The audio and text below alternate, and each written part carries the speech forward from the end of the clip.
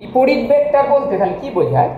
না if the magni if the two vectors having same magnitude are oppositely directed, then the two vectors will be called opposite vectors কথাটা ঠিক হলো না।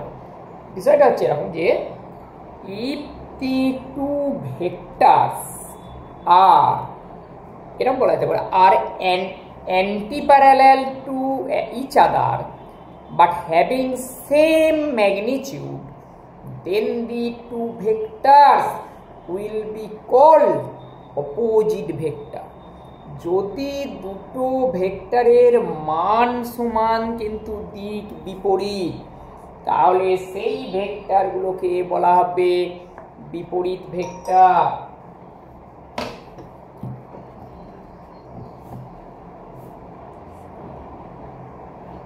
তাহলে যেমন এই দুটো গতিবেগ ভেক্টর, একটা ভি ওয়ান একটা ভি টু দুটোর মানই দুই মিটার পার সেকেন্ড। দেখো, মাথায় অ্যারো দিইনি, তার মানে এটা ম্যাগনিটিউডকে বোঝাচ্ছে। দুটোই দু মিটার পার সেকেন্ড কিন্তু এরা দেখো একে অপরের বিপরীত দিকে রয়েছে।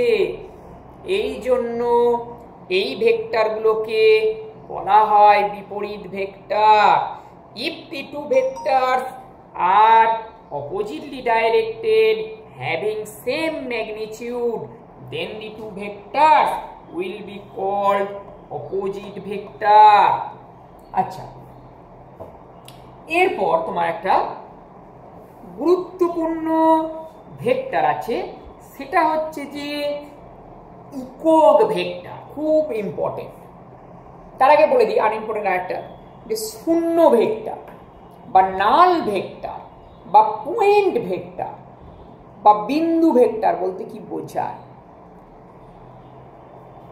শূন্য ভেক্টর হচ্ছে যে দুটো সমান ভেক্টরের অন্তর্ফলকে বলা হয় শূন্য ভেক্টর। এই ভেক্টরের দেখো মান জিরো। সুতরাং এটা শুধুমাত্র তোমার গাণিতিকভাবে বলার জন্যই বলা বাস্তবে এর কোনো ইউটিলিটি তো আমি এখনও দেখিনি। যাই হোক ইফ দি না the subtraction of two equal vectors are called zero vector or null vector or point vector যেমন ভেক্টর এ দুটো ভেক্টর ধরো। ভেক্টর এ থেকে ভেক্টর এ বাদ দেওয়া হলো। লেখা হয় এই জিনিসটা। যে দুটো ভেক্টর ধরো একই দিকে ক্রিয়াশীল। এই একটা এ ভেক্টর আবার এই একটা এ ভেক্টর দুটো ভেক্টর যাদের মান সমান, দিক অভিন্ন, সেই রকম দুটো ভেক্টরের অন্তর্ফলকে বলা হবে শূন্য ভেক্টর বা পয়েন্ট ভেক্টর বা জিরো ভেক্টর বা নাল ভেক্টর। এক, এরপর একটা মোস্ট ইম্পর্টেন্ট ভেক্টর আছে। খুব ইম্পর্টেন্ট যতগুলো ভেক্টর এখনও বললাম, যেটা কাজে লাগবে তোমার সেটা এরপর বলছি। This is called unit vector বা ইকক ভেক্টর তাহলে ইউনিট ইউনিট ভেক্টর বলতে কি বোঝায়? না, যে ভেক্টরের একটা নির্দিষ্ট মান আছে, বলব না আপনাদের বলি, যে ভেক্টরের মান এক এবং একটা নির্দিষ্ট দিক আছে, তাকেই বলা হবে ইকক ভেক্টর বা ইউনিট ভেক্টর দি যে ভেক্টরে একটা নির্দিষ্ট মান আছে, আবার বলব মনটা আমার অন্যদিকে আছে। যে ভেক্টরের একটা নির্দিষ্ট দিক আছে এবং মান এক, সেই ভেক্টরকে বলা হবে ইকক ভেক্টর বা unit vector unit vector suppose একটা unit vector E it is represented by E cap মাথায় এরকম ক্যাপ দিতে হয়? এটাকে বলা, এটা থাকলেই তোমাকে আর আলাদা করে উল্লেখ করতে হবে না ইকক ভেক্টর। এটা মানেই হচ্ছে একটা ইকক ভেক্টর। কোন দিকে না এর দিকে? তাহলে ই ভেক্টর ধরো, এইটা যেমন বলা আছে, এ ভেক্টর এটা কি ধরো এ ভেক্টর? তা এই দিক বরাবর একক ভেক্টর, এরকম লিখতে হয়। Equal to vector A. By তার মান এ ই। এটা দিয়ে ভাগ করলে হয় ইউনিট ভেক্টর। এরকম ভাবতে হবে। ভেক্টর এক metre per second square equal to পাঁচ metre per second square by পাঁচ। এটাই হচ্ছে তোমার বাই পাঁচ metre per second square by পাঁচ। এটাই হচ্ছে তোমার একক ভেক্টর। তাহলে একক ভেক্টর তাহলে একটা নির্দিষ্ট দিকে তার সাংখ্য মান হচ্ছে এক। সেটা যদি গতিবেগ ভেক্টর হয় সাংখ্য মান হবে এক মিটার পার সেকেন্ড সেটা যদি ত্বরণ ভেক্টর হয় সাংখ্য মান হবে এক মিটার পার সেকেন্ড স্কোয়ার এই রকমের জিনিসটা। তাহলে যে কোনো একটা ভেক্টর আর ভেক্টর, একে দেখো এইভাবে লেখা যাবে। Vector R equal to R R cap R R cap R cap হচ্ছে ডিরেকশন, আর এইটা হচ্ছে সাংখ্যমান যেমন, ভেক্টর পাঁচ মানে পাঁচ, ওয়ান ক্যাপ এইরকমের জিনিসটা। যাই হোক, এটা একক ভেক্টর হচ্ছে এই জিনিস। তা একক ভেক্টর একটা লেখার নিয়ম আছে।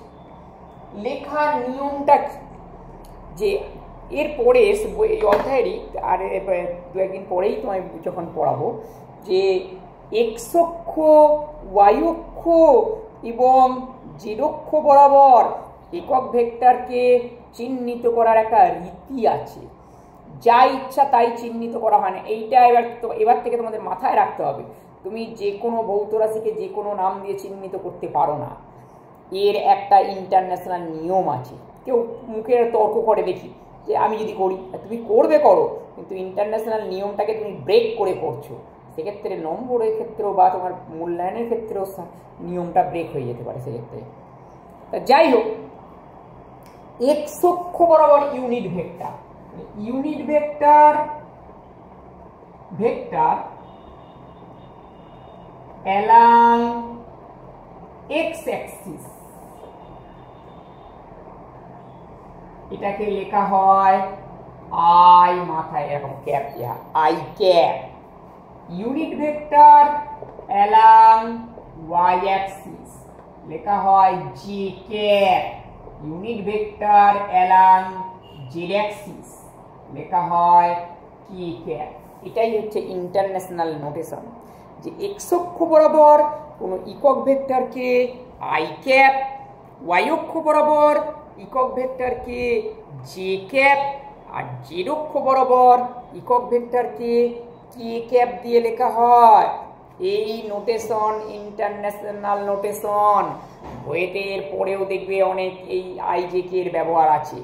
এবং শুধু তাই নয়, পরীক্ষায় বা কম্পিটিটিভ পরীক্ষাগুলোতেও এই যে ভেক্টর সংক্রান্ত যে প্রশ্ন বা অঙ্ক, বেশিরভাগ ক্ষেত্রে নাইনটি পার্সেন্ট ক্ষেত্রে এই আইজেকে এই আকারে দেয়। সুতরাং ইকক ভেক্টরটা ভালো করে পড়বে। বেসিক কনসেপ্ট কি? একটা নির্দিষ্ট দিকে যে ভেক্টরের সাংখ্য মান এক, তাকেই বলা হয় ইকক ভেক্টর। যেমন আজকে পড়াচ্ছি, ঝড়ের সম্ভাবনা আছে, যদি বলে যে পশ্চিম থেকে পূর্ব দিকে আশি কিলোমিটার আপার আওয়ার বেগে বায়ু প্রবাহিত হবে। তাহলে